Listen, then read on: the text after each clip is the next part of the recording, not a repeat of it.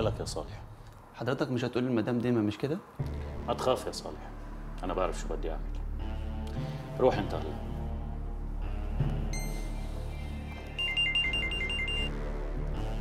ألو. إيه أدم؟ مين عم يحكي؟ شو؟ طيب طيب. أنا جاي حالا. إزيك الحمد لله. أمال إخواتك فين؟ للأسف عندهم شغل في القاهرة ومش هيقدروا يجوا قبل أسبوع. الحمد لله على السلامة. أهلا. إزيك يا عفاف؟ يا ترى جاي ترانزيت ولا قاعد شوية؟ جرى إيه يا عفاف؟ في واحدة تستقبل جوزها بالشكل ده؟ سيبيها يا أمي خليها تقول اللي نفسها فيه. قصدك إن كلامي خلاص ما بقالوش لازمة عندك؟ الراجل ما قالش كده. عفاف أعتقد إن لينا مكان ممكن إن إحنا نتناقش فيه لوحدنا. عايزنا نتناقش في إيه بقى يا حسام بيه؟ الست اللي أنت على طول سايبها. وعمرك ما فكرت فيها. لحظة واحدة. ولا في ولادك اللي ما تعرفش عنهم حاجة. دول قربوا ينسوا ملامحك كتر سفرك وبعدك عنهم. سبق وقلت لك إن أنا ما بقتش ملك نفسي. أمال ملك مين؟ أنا ملك ناس كتير قوي يا عفاف. أكتر من 6000 موظف ومهندس موجودين في الشركة عندي. وأكتر من مليون ونص بني آدم وثقوا فيا عشان أحل لهم مشاكلهم وأعبر عن رأيهم في المجلس. طب وإحنا؟ إحنا فين من ده كله؟ لازم تستحملوا مش معنى إحنا اللي نستحمل. لأن ده قدركم. انت اللي اخترت. ما ينفعش أقول لأ. لما ربنا يجعلني سبب في فتح بيوت ناس ما ينفعش أقول لأ. يعني تفتح بيوت الناس على حساب بيتك؟ لأن بيتي ده أنا سايب فيه مراتي اللي أنا واثق فيها بنت خالتي واللي أنا متأكد إنها قد المسؤولية دي. أنا تعبت من المسؤولية. مبقتش قادرة أستحمل. إزاي وإحنا طول عمرنا مسميينك حمالة الأسية؟ هو ده هو ده اللي خلاك تتجوزني. قلت يا بنت خالتي. يتيمة وعايزة كتير تقدر تستحمل. مش هي دي الحقيقة. لا طبعا. وهتكذب وهتكذب وتقول إنك بتحبني.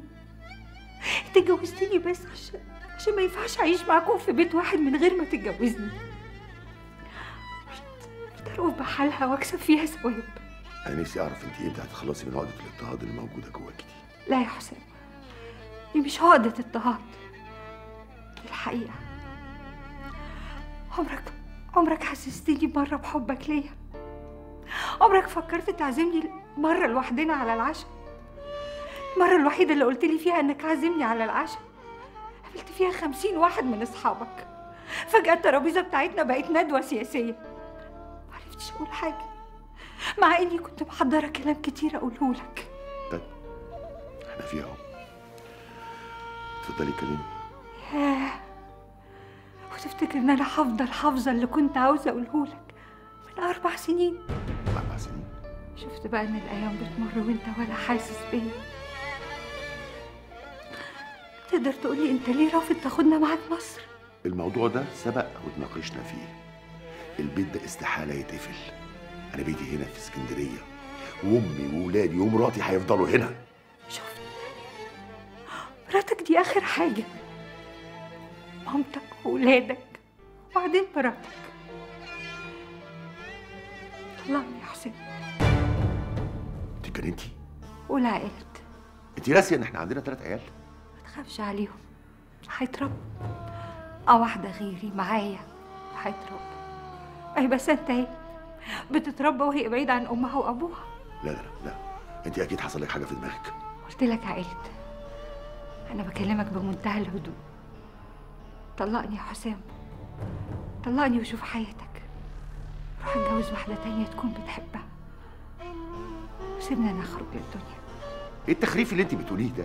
ده قرار أنا أخدته. مش هرجع فيه. اسمعي. أنا مش فاضي للهيافة دي. أنا عندي حاجات أهم مليون مرة من الكلام الهايف اللي أنت بتقوله لي ده. المشاعر عندك بقت هيافة؟ مشاعر إيه وكلام فاضي إيه اللي أنت بتقوليه ده؟ أنا مش فاهم. أنت بتحاولي تدوري على أي حجة والسلام ناقصك إيه؟ عايشة في فيلا طويلة عريضة وعندك فيها خدم وحشم وحرس وولاد زي الفل. عربية آخر موديل ورصيد بالملايين في البنك. إيه اللي ناقص؟ ناقصك إيه؟ ناقصني راجل.